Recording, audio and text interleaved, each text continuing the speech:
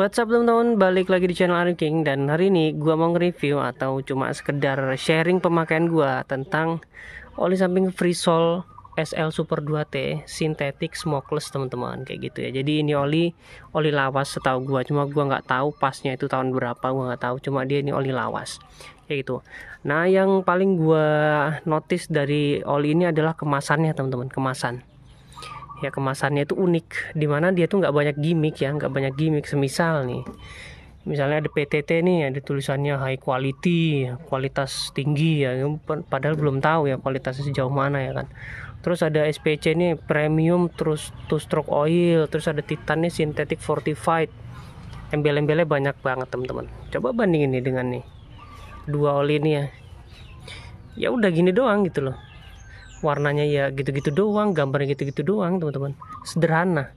Jadi pesan yang ingin dia sampaikan adalah bahwa oli ini oli smokeless dengan material sintetik. Udah itu doang. Masalah performa ya mungkin kita disuruh nyoba sendiri teman-teman karena dia nggak suka gimmick-gimmickan. Kayak gitu ya. Ini oli samping Freesol SL Super 2T Nah kemudian teman-teman seperti biasanya ya gue pakai oli ini tuh dengan ya pemakaian uh, dengan metode gue ya teman-teman ya pakai dengan setelan standar, setelan basah, terus juga dipakai santai. Uh, kalau ngebut, uh, kalau macet-macetan udah nggak bisa teman-teman di Klaten karena nggak ada tempat buat macet-macetan. Jadi paling gue pakai buat naik gunung ya, naik bukit-bukitan kayak gitu. Terus juga buat kebut-kebutan. Nah untuk kebut-kebutan di sini gue nggak bisa kayak di Jakarta karena jalannya nggak selega nggak seenak di Jakarta teman-teman.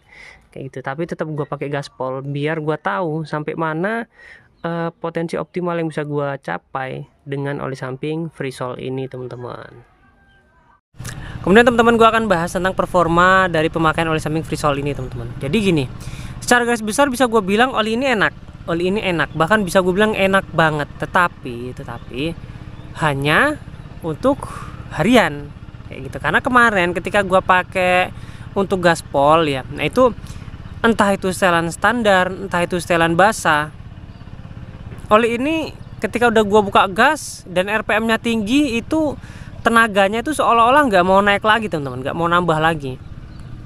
Kayak gitu. Jadi walaupun udah gue kasih setelan basah gua tambahin tingkat kebasahannya juga ternyata nggak ada perubahan.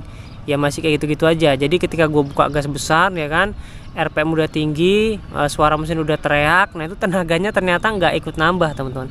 Jadi ya hanya gitu-gitu aja. Tetapi untuk apa namanya tenaga dari RPM tengahnya ke bawah itu malah jadi lebih enak teman-teman. Jadi lebih enak. Nah itu jadi makanya gue ngambil kesimpulan oli ini enak tetapi hanya untuk dipakai harian.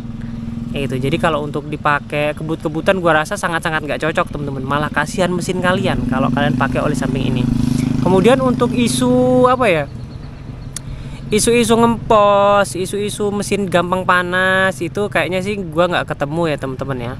Jadi untuk stabilitas mesin terhadap panas mesin uh, stabilitas stabilitas mesin terhadap panas itu normal-normal uh, aja. Gue nggak ketemu mesin ini ngempos ketika diajak jalan jauh. Kemudian uh, asap bau sangit segala macam sih nggak ada sih teman-teman. Normal-normal aja. Tetapi yang paling gue garis bawahi adalah oli ini enak tetapi hanya untuk harian saja. Untuk gaspol bisa cuma ya sebatas ya cukup aja lah teman-teman. Karena ya seperti gue bilang tadi tenaganya ketika udah RPM tinggi itu nggak mau nambah lagi. Ya gitu. Jadi sebatas untuk selip-selip lah. Yang selip-selip di kemacetan lah kayak gitu teman-teman. Cuma kalau untuk selip-selip ketika gaspol itu gue sangat tidak sarankan kalian pakai oli ini. Kayak gitu teman-teman ya Oke teman-teman, kemudian gue akan bandingkan antara Freesol dengan beberapa oli lawas yang lain teman-teman. Semisal ada Titan Twin, ada Total Grand Prix lawas, ada Valvoline, ada Kyoso dan juga Special 2T. Nah kalau PTT itu belum ya teman-teman. Itu belum gue review. Ini sedang gue kerjakan teman-teman. Kayak gitu. Nah ini semua oli ini sudah ada video reviewnya. Jadi kalian tinggal cari di beranda gue teman-teman ya. Tulis aja namanya. Misalnya Valvoline 2T Kyoso 2T Total Grand Prix 2T Titantin 2T kayak gitu aja. Ini semua sudah gue review lengkap. Dari asap kerak mesin sampai performanya kayak gitu. Ya teman-teman ya. Oke. Uh, sekarang antara Freesol dengan beberapa oli ini akan gua kasih gambaran dengan angka ya teman-teman ya biar agak jelas. 3 Titan Twin dan Total Grand Prix gua kasih angka 9 ya 9 kemudian si Freesol ini gua kasih angka 7 ya Kyoso ini 3 kemudian si SPC itu 4 nilainya. Dan Valvoline ini 8 teman-teman. Itu gambarannya. Gambarannya karena ya si Freesol ini dibilang gak enak juga sebenarnya enak teman-teman. Dia ini mirip kayak itu loh. Uh, Repsol Moto Town. Nah, jadi dia setelan standar setelan basah ya performanya tetap enak di putaran tengah ke bawah. Sedangkan putaran tengah ke atasnya ya begitu-gitu aja teman-teman. Kayak gitu. Cuma dia enak enak banget.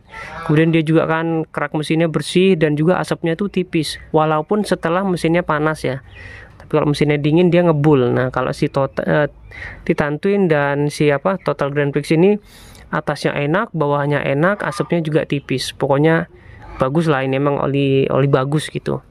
Kalau Kyoso ini ya atasnya nggak enak bawahnya nggak enak suara mesin kasar ya kayak gitulah. Harganya cuma 25.000 nah kalau Valvoline ya kalian udah lihat kan beberapa waktu lalu sudah gue review.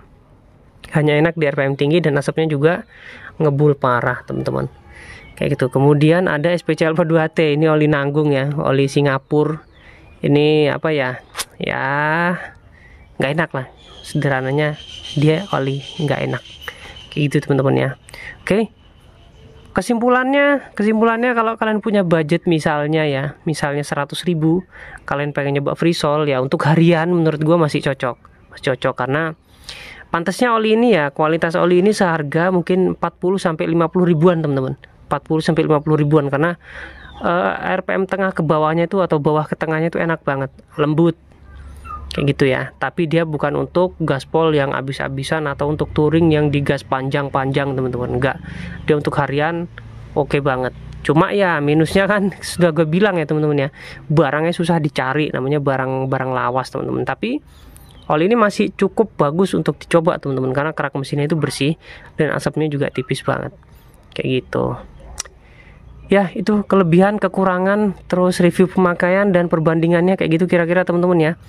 Kalau ada yang kurang jelas bisa kalian tanyakan di kolom komentar. Dan kalau ada yang mau mengkoreksi juga boleh banget teman-teman. Tulis di kolom komentar. Kita diskusi kayak biasanya.